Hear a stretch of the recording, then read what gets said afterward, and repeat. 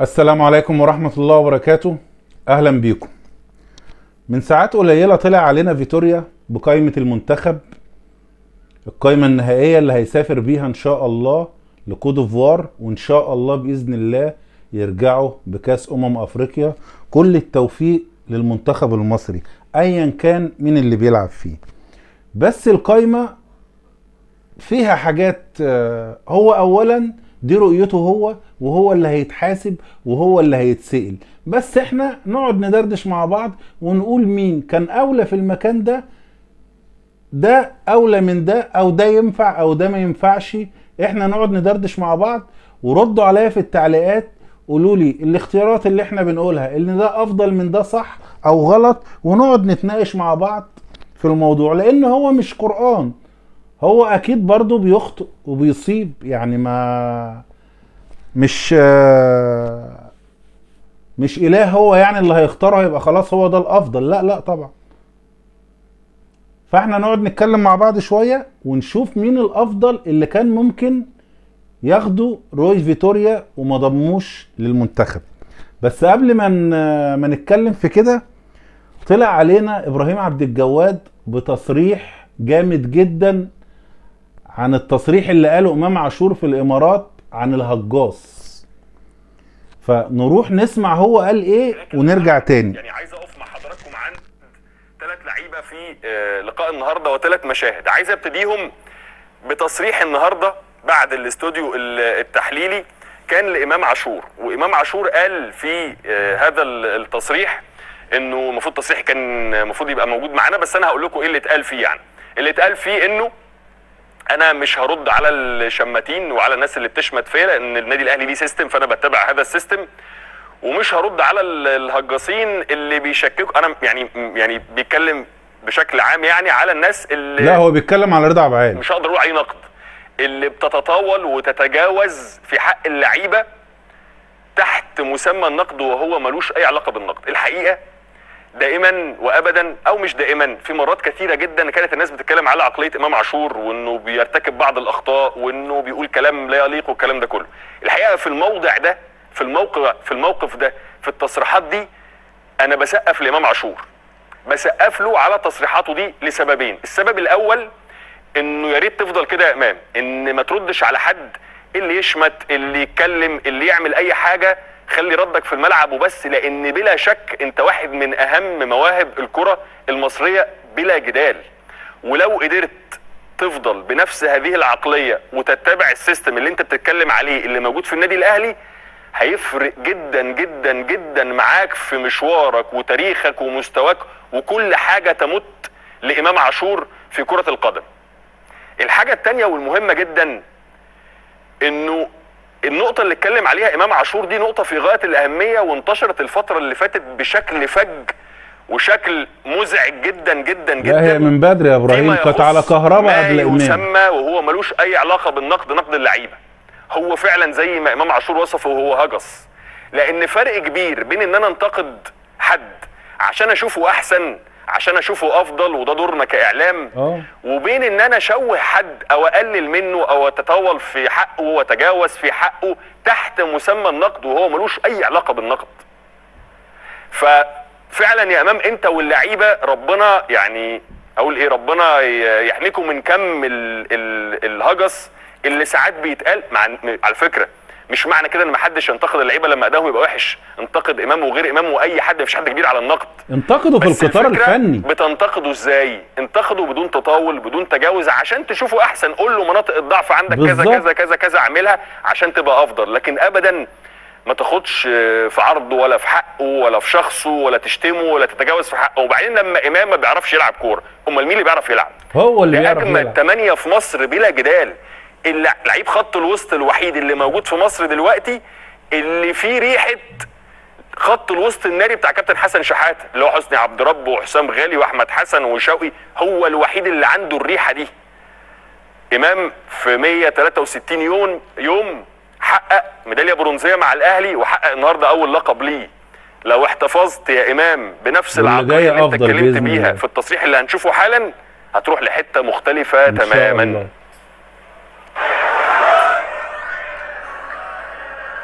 ده الاحتفال بالكاس يا جماعة. كفاية كده عشان ما نديش الهجاص ده أكتر من حقه. ده اللي قاله إبراهيم عبد الجواد بالنص عن رضا عبعال هو طبعا عمال يقول لك الهجس والهجاصين لكن هو إمام عاشور بالنص كان يقصد رضا عبد العال. لأن رضا عبد العال من أول إمام ما راح الاهلي وهو ماسكه سلخ ما بيعرفش يباصي ما بيعرفش خلي بالكم يا جماعة الناس دي شغالة في القنوات دي عشان بس بتهاجم الأهلي. الناس دي لو بطلت تهاجم الأهلي مش هتاكل عيش ومش هتشتغل. ارجعوا كده بالفيديوهات لورا هتلاقوا رضا عبعال نفس اللي قالوا على إمام قالوا على مروان عطية. ده ما بيعرفش يباصي. أنا مش عارف بيتخانقوا عليه على إيه. ما بيعرفش يباصي. على كهربا. ده صفقة فاشلة. ده بتاع مشاكل. ده بيعمل مش عارف إيه. كل ما هو يفشل أي لعيب في الأهلي الناس دي بتتناوله وتقعد تتكلم فيه ها هو ده ال- السكريبت بتاعهم هو ده شغلهم اللي بيقبضوا عليه فلوس. لو بطلوا يتكلموا في الكلام ده لا هياخدوا فلوس ولا هيلاقوا ياكلوا. فانتوا اعذروهم برضو لأن ده أكل عيشهم بس إحنا لازم نرد عليهم. سيبنا بقى من رضا عبعال والهجص والكلام ده ونروح بقى لإيه؟ لقائمة منتخب مصر. تمام؟ نشوف بقى الأستاذ ري فيتوريا القايمة اللي إيه؟ اللي ضمها بسم الله الرحمن الرحيم. القايمة ضمت محمد الشناوي وأحمد الشناوي ومحمد أبو جبل ومحمد صبحي.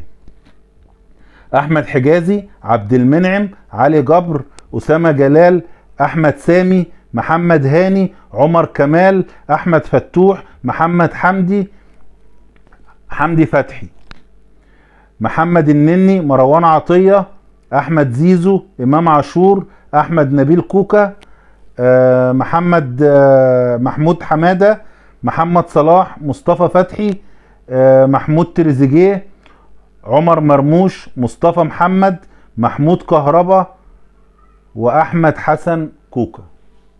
دول السبعة وعشرين لاعب اللي اتضموا. أول حد هتكلم عليه كهربا. اللي أنا متأكد منه إن فيتوريا خد كهربا رغم أنف الجميع. ناس كتير قوي ومن قلب اتحاد الكورة ها زي حزومة كده مش عايزين كهربا يشم بطولة أفريقيا ولا يشم المنتخب ولا يبقى ليه تواجد. بس فيتوريا غصب عنه لازم ياخده بعد ال- العرض الجامد اللي كهربا مقدمه مع الأهلي. كهربا ما سجلش بيعمل assist. كهربا بيسجل وبيعمل assist تمام؟ فكهربا مقدم عرض جامد جدا. ففيتوريا غصب عنه خده.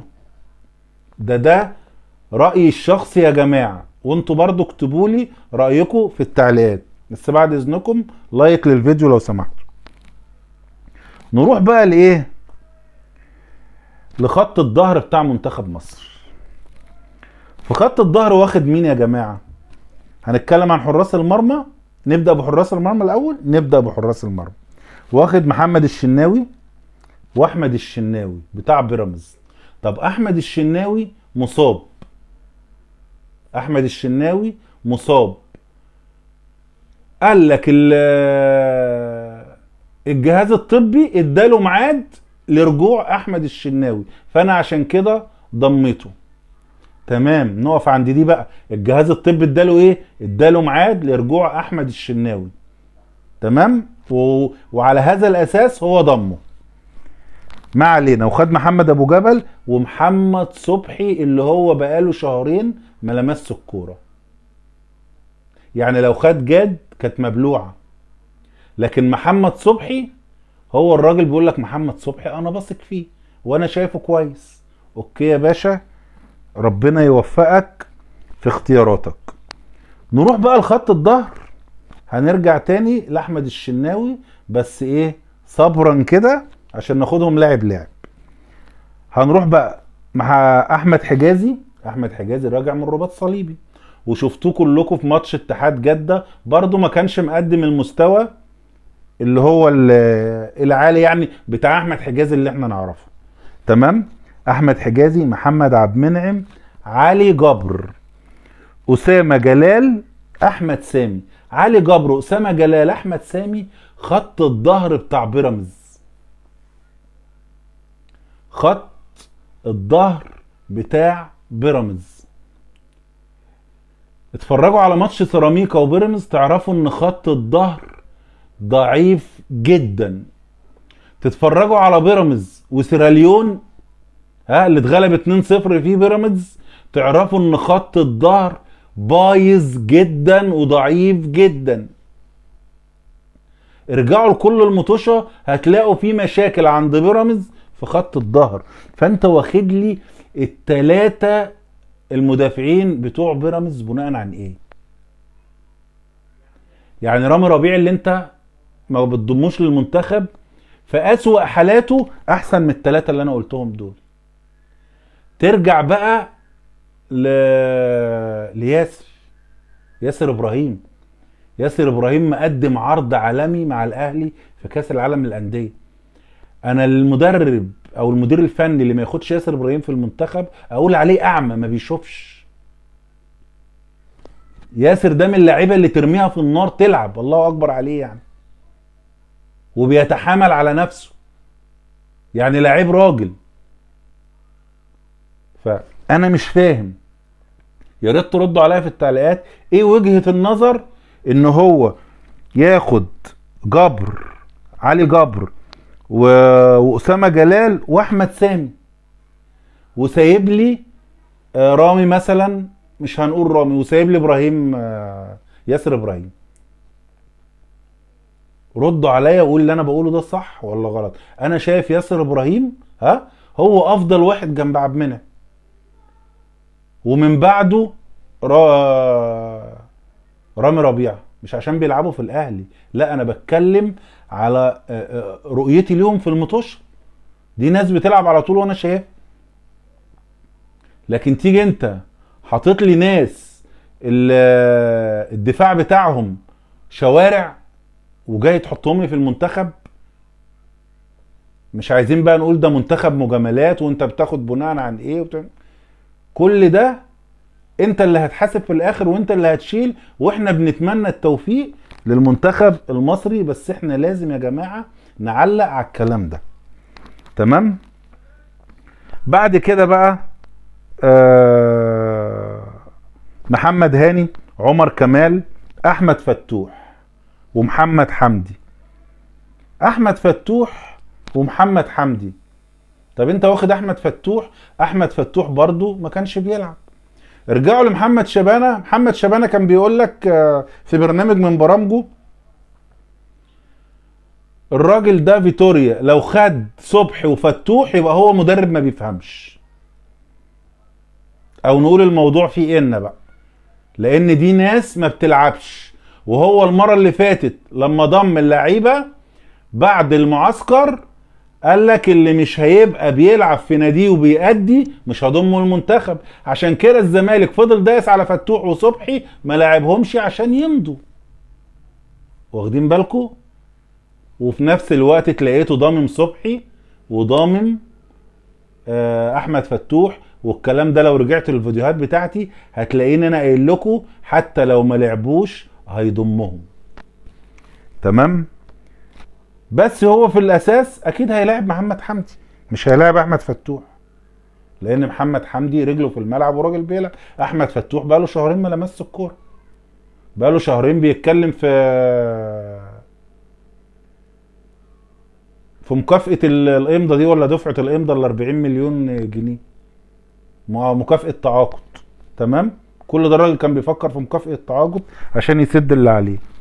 بعد كده حمدي فتحي ها والنني مروان عطية أحمد سيد زيزو إمام عاشور كل دي لعيبة مفيش عليها كلام. أحمد نبيل كوكا.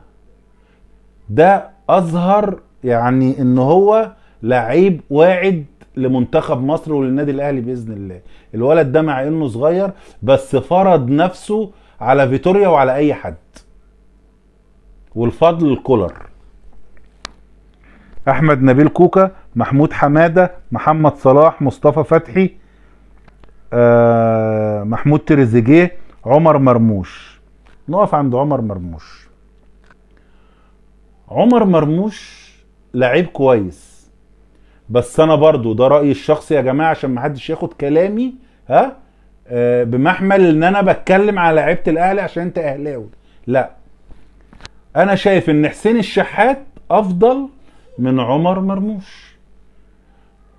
ما بقولكش ما تاخدش عمر مرموش. طب ما تاخد الاتنين. انت واخد أربع حراس مرمى ليه؟ ما تاخد تلاتة. وخد حسين الشحات مع عمر مرموش. هينفعك. حسين الشح... الشحات شمال تلعبه ويمين تلعبه. في أي حتة هيلعب.